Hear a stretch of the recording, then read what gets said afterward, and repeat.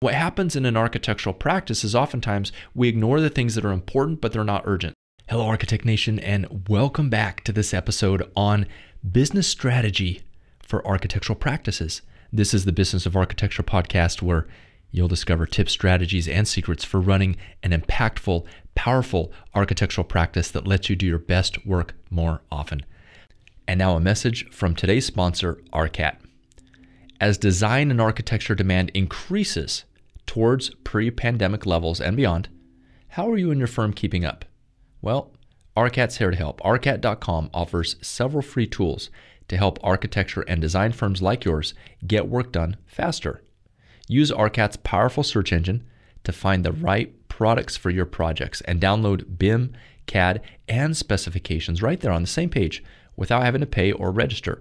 ARCAT.com also offers product videos, catalogs, green reports, product certification information, outline and short form specification generation, and more. ARCAT.com is your one stop solution to help increase your productivity and get more projects done. That's ARCAT.com, A R C A T.com. So let's jump right into today's episode. What is business strategy? Let's start there. The Oxford Dictionary says that strategy is a plan or policy designed to achieve a major overall aim.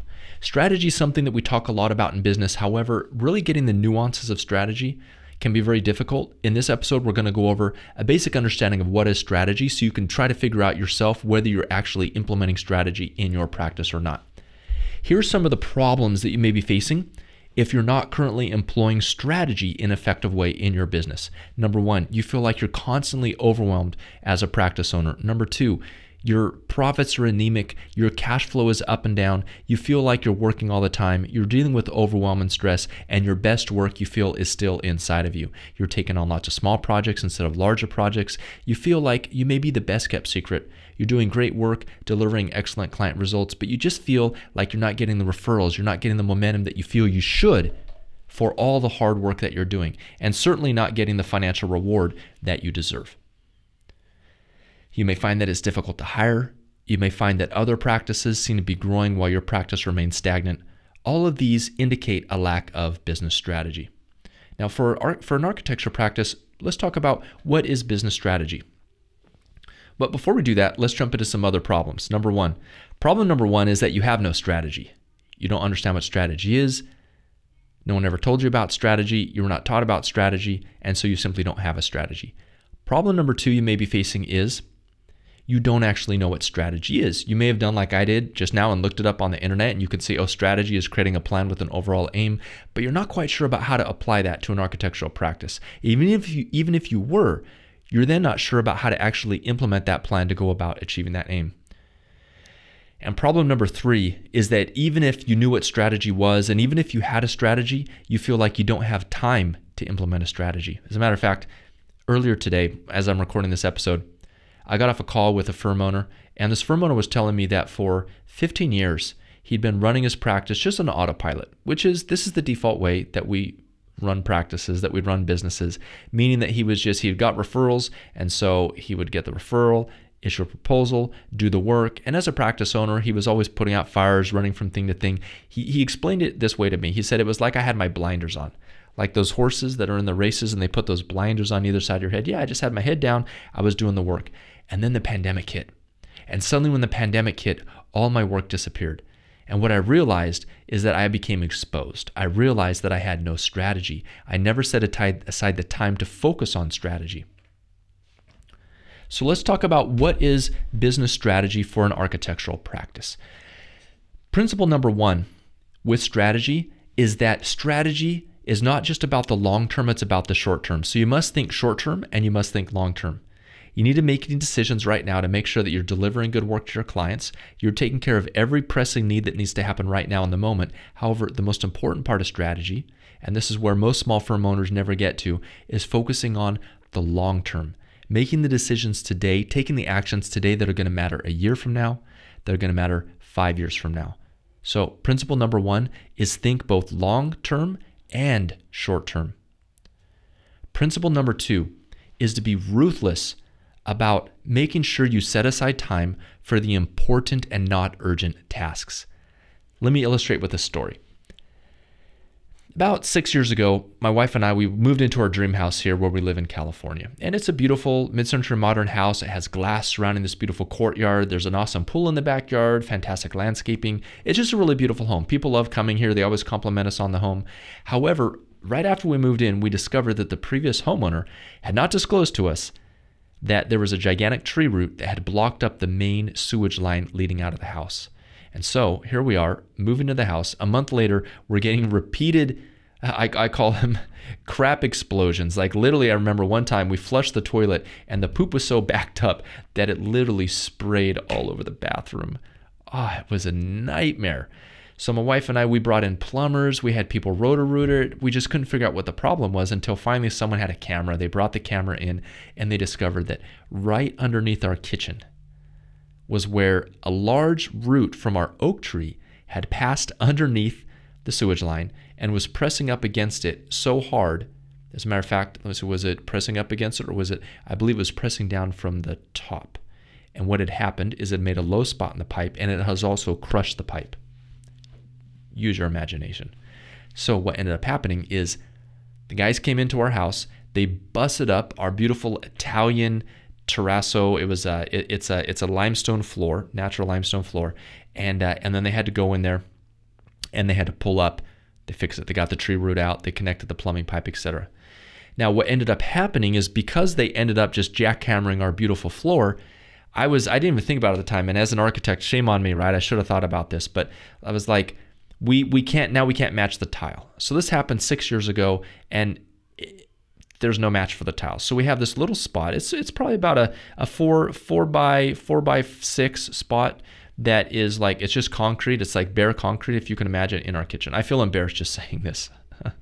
but it's true. and it's frustrating because, you know, I'm like, oh, I looked into what are we gonna do now? We need to the options are we can retile the whole area, but you know, if you're gonna retile the area, why not just retile the whole house? And now, if you're going to retile the whole house, why not just remodel the whole house? if you're going to remodel the whole house, why not add on an addition? So basically, because of all these ideas about difficulty finding the tile and then wanting to remodel, we've I put this project off again and again and again.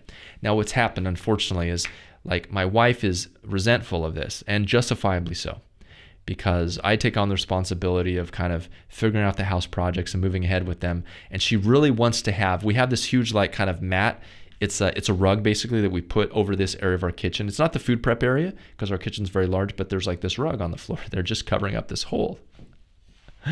So now it's causing marriage difficulty in my marriage, right? My wife is like, how much longer are we going to do? You keep on saying we're going to remodel our house. When is this going to happen? You know, date nights turn into arguments. I feel guilty because now it's like I'm my wife's blaming me like it's my fault and I already have a million and one things to do.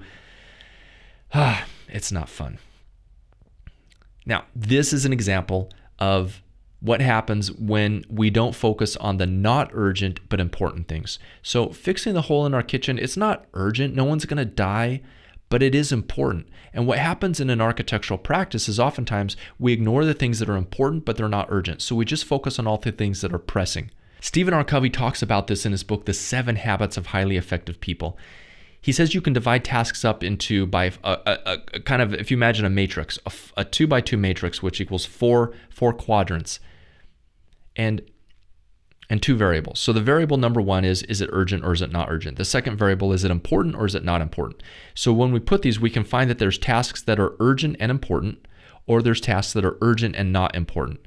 There's tasks that are not urgent and important, and there's tasks that are not urgent and not important what can sap your strategy and get in the way of your production, get in the way of you having a solid strategy is focusing on the not urgent, not important things. This would be like, I need to file my office, I need to clean my desk, right? These are not that important, and they're certainly not, usually not urgent. Another area that we focus on a lot of times is the the urgent and not important category. So like there's something that's urgent, like there's this email, uh, someone's needs something right away, but it's really it's not that important. Someone on my team could do that. I could delegate that right? So we end up filling up our time with these things that are urgent and not important or not urgent and not important. If we don't focus on those, then we're focused on things that are urgent and important. And certainly this is an important area to focus on. But the most Strategic, place to focus on, is those things that are not urgent, meaning they don't need to happen now, but they're important. So, what would this look like for an architectural practice? It would look like taking a really close look at the kind of projects that you're accepting, creating a go no go plan so you can determine which projects you're going to say no to and which projects you're going to say yes to. It looks like identifying what's the target market that we're actually going after right now. What kind of what kind of clients would be the best fit for us? How could we attract more of those clients? What's a marketing plan that we could put into place to be able to start to build relationships with these kind of clients? What do we want our team to look like three years from now? What roles do we need in the practice? And then what do we need to do today to start hiring to be able to have that team two years from now? These are all things that would be considered not urgent, and yet they're important. Principle number three in strategy is to be patient. It's tempting to want to see change happen overnight. It's tempting to want to, you know, scale that mountain to achieve those ends, win those kind of projects tomorrow. This is where you need to have patience. You need to have faith in your vision, understand that hey, we made a plan. It's going to work out. There's going to be bumps along the way. We're going to have to readjust as we move. This is why it's important to have planning meetings every single month where we review how are we doing on these targets, where are we headed right now, where are finances happening. Because strategy is not just about setting that future target, this is where we want to get to, and then creating a plan. We can do that. But as Mike Tyson said, everyone has a plan until they get punched in the mouth. Meaning, your plan's are going to look beautiful on paper, but when you actually put it out there into practice, it's going to fall to pieces, meaning that planning is necessary, but plans are worthless. Planning is necessary, but plans are worthless. Your plan's going to have to be continually readjusted. So, principle number three is have patience. This is important in terms of strategy. It's going to help you take a long term view of your practice. Make sure you understand that the seeds you plant today, you're going to reap these in two, three, four, five years. Having said this, don't confuse patience with ignorance and complacency and apathy. Oftentimes in the architecture practice, we have a cancer of people just hoping that things will get better. Of just saying, well, you know, my strategy is hope. We're just going to keep on doing good work and people will hear about us. But not taking any time and effort to learn marketing, to learn sales, to learn solid business principles, to run a profitable practice. That is the death knell for your dreams and what you have available to you as an architect. Principle number four is as you're looking on a strategy to approach the marketplace, you need to figure out what's your selling strategy. Now, there's two primary ones that I'll mention here. There's more, but you could either go high, meaning price yourself as the premium on the market. One of my business mentors once taught me something that was very, very, very profound. He said, Enoch, there's no advantage in being the second, the second most expensive person in the market. Consider that. There's no strategic advantage in being the second most expensive person on the market. Why is that? Because typically clients are either going to go for the cheapest because they're price focused, or they're going to go for the most expensive because they're value focused.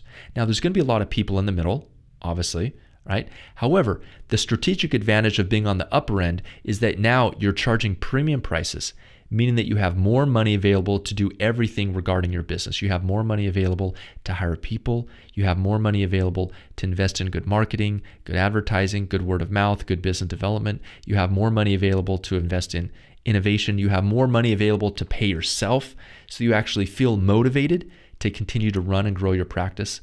Those are the strategic advantages of placing yourself in what we call the premium fee area of the market.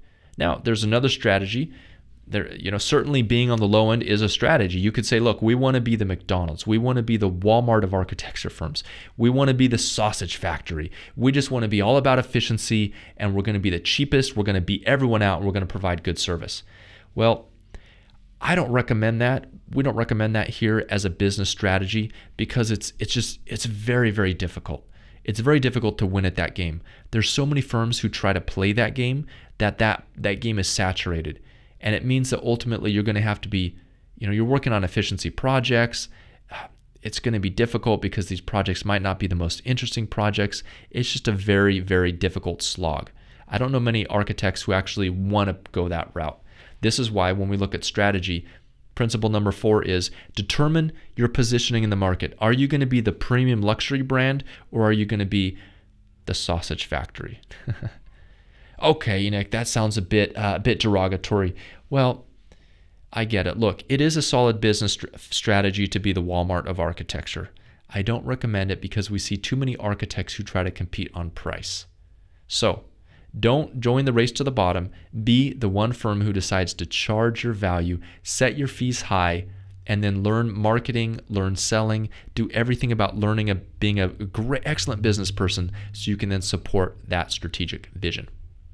So, in summary, we've talked about some of the problems that small architectural practices face when it comes to business strategy. Number one, you have no business strategy. Number two, you don't know what business strategy is. And number three, you, even if you knew what business strategy is, perhaps you do, you have no time to implement it. Now, when we look at the possibility here, the possibility is you have a business strategy. Number two, you know what business strategy is because you've developed one. And number three, you're setting aside the right amount of time to actually implement this strategy, hold your team accountable so that you move powerfully towards that strategy. The principles that we discussed today in summary are the following. Number one, as you develop a strategic plan for your architectural practice, make sure that you think long term as well as short term. Both these things need to happen concurrently. Number two, be ruthless about things that are in the important and not urgent category. If you're just focused on doing the things that are fires immediately, you'll always be on that hamster wheel and never find the business growth, the freedom that you need to have and that you probably want to have as a business owner. Number three, have patience. Understand that this is a marathon, not a sprint, and that the people who will win are the people who just do the actions day by day by day by day. Number four, choose your positioning strategy. Preferably go high in the market, choose to be the premium brand, learn how to sell and market and support that premium brand so you have agency and options. And that's a wrap. Oh, yeah, one more thing. If you haven't already, head on over to iTunes and leave a review. We'd love to read your name out here on the show. And now a message from today's sponsor, ARCAT. As design and architecture demand increases, towards pre pandemic levels and beyond, how are you and your firm keeping up? Well, ARCAT's here to help. ARCAT.com offers several free tools to help architecture and design firms like yours get work done faster. Use ARCAT's powerful search engine to find the right products for your projects and download BIM, CAD, and specifications right there on the same page without having to pay or register. ARCAT.com also offers product videos, catalogs, green reports, product certification information, outline and short form specification generation, and more. ARCAT.com is your one stop solution to help increase your productivity and get more projects done. That's ARCAT.com, A R C A T.com. The views expressed on the show by my guests do not represent those of the host, and I make no representation, promise, guarantee, pledge, warranty, contract, bond, or commitment except to help you conquer the world. Carpe Diem.